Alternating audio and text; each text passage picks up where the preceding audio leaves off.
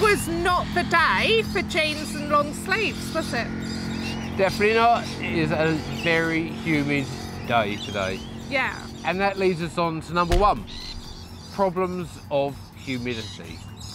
Now, you may think we're talking first world problems and how ridiculous are they living in their sunny resort style lifestyle? But it brings up the problems that you don't really think about. So for example this year most people in this area had really bad problems with mold and it really had to be kept on top of. Yeah it's true. And with the humidity it's very hard to work in as well. You really need to make sure you take on plenty of liquids and try and stay in the shade as much as possible. But in saying that, I do miss it when we go down to other places.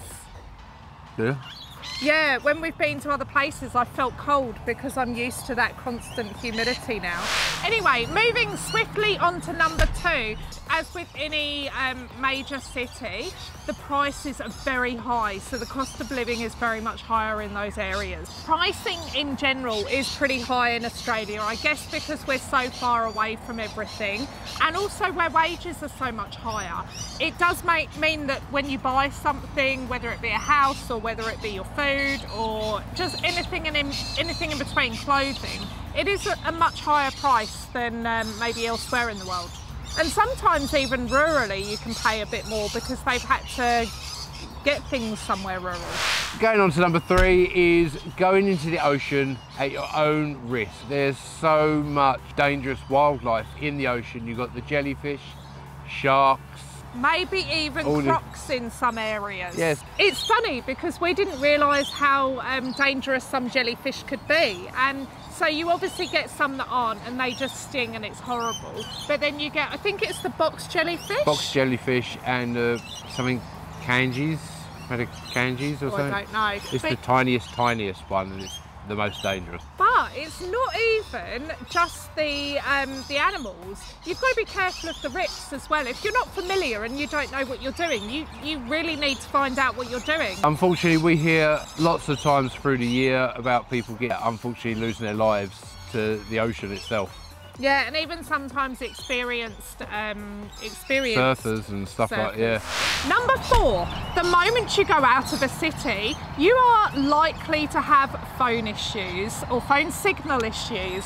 We have moved half an hour away from major suburbs and we can't get phone signal in our house now. It's not unusual. If you go for a drive away from um, major areas in Australia, it, it's very usual to lose your phone signal. Yeah, it's true. Um, it is true. It is That's true. why I said it. That's why many people that live rurally have satellite phones and stuff like that. In case there's an emergency, they're still able to get help. Although the phone signal is great in some areas, it's not great in others. You don't really need to go too far out to lose your phone signal. Yeah, and we found near our house there's lots and lots of black spots, so you can't get radio, phone drops out. And I wouldn't say we're rural. Well, we're not rural, rural. We're only a little bit rural. Yeah, rural, rural. And number five, there's a massive problem here in Australia with skin cancer. Australia does have really high rates of skin cancer and that's understandable because we have really strong sun, really, be, uh, really high UV um, rates and I mean it's just such a beautiful place. All you want to do is go to the beach and hang out. But it's you know most Australians I would say have had some kind of skin cancer cut out. We do go and get checks every year and I think most Australians do.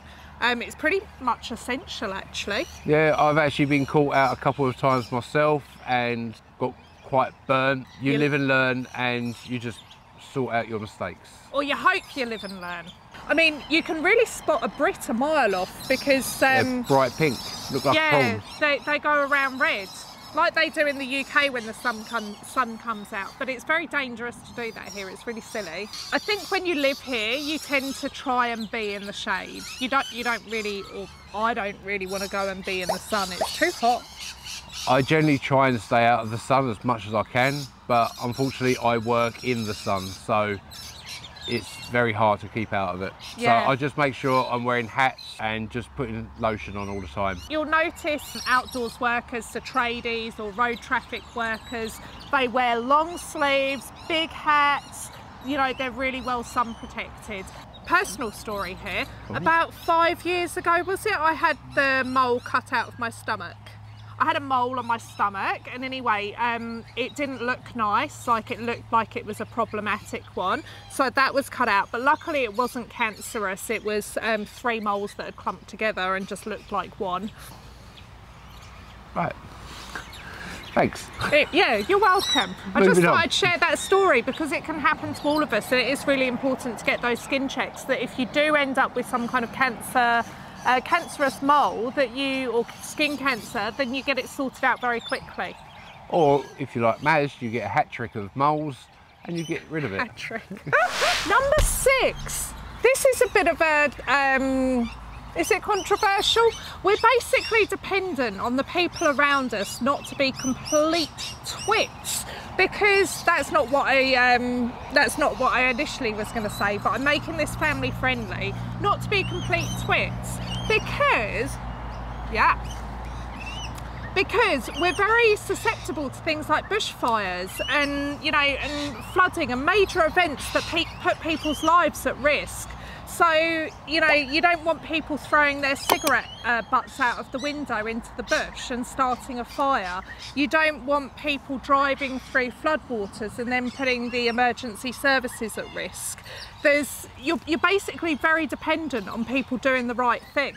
There was a fire started on the Sunshine Coast a couple of years ago, um, well, a few years ago now, um, by a twit, and it pretty much took out so much bush people were evacuated from their home for days and you know luckily no lives no human lives were lost there would have been wildlife lost but it was all because of one per, or one or two people yeah so you're very dependent on the people around you not being twits. Number seven is the cost of shipping. When you look at sending things internationally, because you think, oh, I'll buy something that I like from abroad, and that's a very like it, it just makes it crazy expensive. Yeah. Our family now, there's family members that send gifts to us for Christmas and birthdays, but they tend to now buy stuff on Australian sites and send that to us rather than stuff that they would buy and then shipping it to us because it's just too much. Yeah, because originally they used to think, oh, we just send that out. It's not a very expensive thing. We just post it out to and those finding they was paying nearly 10 times more than what the thing was just in the shipping. Yeah, I bought um, a family member a box of presents, I think about so big a couple of years ago, and the shipping cost me 60 bucks. We even do it with the UK stuff. We won't send stuff from here unless we're going to travel. Yeah. And then we just take it with us. Number eight, the last, the final last one. Get ready for it. Oh. Da -da -da if you are anywhere a little bit more, more rural, you are very much more likely to be further from assistance. And so if you need help, like say you need an ambulance, say you get um, broken down, your vehicle gets broken down, um, you, A, might not be able to use phone signal to actually call for help. That's where the satellite phone comes in, that I said about. Yeah, but B, if you are lucky enough to get phone signal, it might take a while to get that assistance that you need.